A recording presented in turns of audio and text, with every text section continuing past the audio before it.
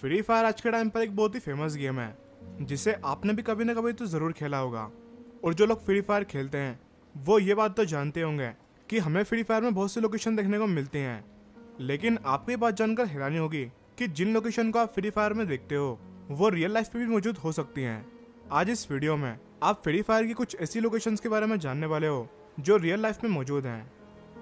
Number five council hall council hall Kalahari map की एक location है और ये कलरी की एक बहुत ही फ़ेमस लोकेशन है, जिसे आपने ज़रूर देखा होगा।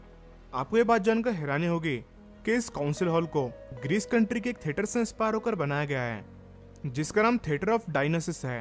अगर आप फ्री फायर की काउंसिल हॉल और थिएटर ऑफ़ डायनासिस को एक साथ में देखो तो आप ये देख ही सकते हो कि ये दोनों लोकेशंस देखने में कितनी सिमिलर लगती हैं।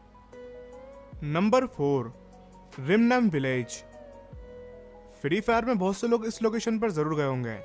इस लोकेशन का नाम रिमनम विलेज है।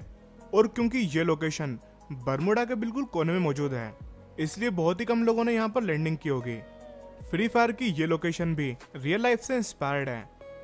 इस लोकेशन को मालदीव्स के बीच से इंस्पायर होकर बनाया गया है, जो कि दिखने में काफ़ी हद तक रिमनम विलेज की तरह ही लगता है। Number three Mehmed Mehmed Kalahari map की एक और फ़ेमस लोकेशन है जिसे आपने क्लैश स्क्वाड और क्लासिक में भी ज़रूर देखा होगा। बहुत से लोग इस लोकेशन को देखकर ये सोचते हैं कि ये बड़ी बड़ी हड्डियाँ किसकी हैं। तो जैसा कि इसके नाम से ही पता चलता है कि ये मेहमद के फॉसिल्स हैं। और आपको ये बात जानकर हैरानी होगी कि फ्री फायर ने इस लोकेशन को भी रियल लाइफ से इंस्पायर होकर बनाया है। 1982 में ब्लैक रॉक डेजर्ट नेवाड़ा में मेहमत के इन फॉसिल्स की खोज की गई थी, जिससे इंस्पायर होकर ही फ्री फायर ने इस लोकेशन को बनाया है। Number two Pochinok. पोचिनोक बहुत से फ्री फायर लवर्स की फेवरेट लैंडिंग लोकेशन होगी, क्योंकि यह प्लेस अपने इंटेंस बैटल के लिए काफ़ी फ़ेमस है। लेकिन क्या आप ये बात जानते हो कि पोचिनोक को भी रियल लाइफ से इंस्पायर होकर बनाया गया है? और इस लोकेशन का रियल नाम भी पोचिनोक ही है। पोचिनोक रशिया के टाउन का नाम है, जो कि पोचिनोकोविस्की डिस्ट्रिक्ट में आता है। इस टाउन के बहुत से हाउस से इंस्पायर होकर ही फ्री फायर ने अपने पोचिनोक लोकेशन के हाउसेस को बनाया है। जो कि दिखने में बहुत ही सिमिलर लगते हैं।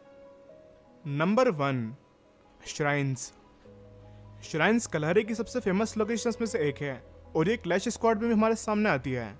लेकिन शायद आपको ये बात पता नहीं होगी कि इस लोकेशन को एक टेंपल से इंस्पायर होकर बनाया गया है। ये टेंपल इंडोनेशिया में मौजूद है, जिसका नाम सुकू टेंपल है। इस टेंपल को फिफ्टीन सेंचुरी में बनाया गया था और जैसा कि आप देख ही सकते हो कि फ्री फायर की श्राइन्स नाम की ये लोकेशन सुकू टेंपल से कितनी ज़्यादा सिमिलर लगती है? आपको इन सभी लोकेशंस में से कौन सी सबसे ज़्यादा सिमिलर लगी? नीचे कमेंट करके ज़रूर बताना। वीडियो अच्छा लगा हो तो लाइक करना और इसे ज़्यादा से ज़्यादा शेयर करना।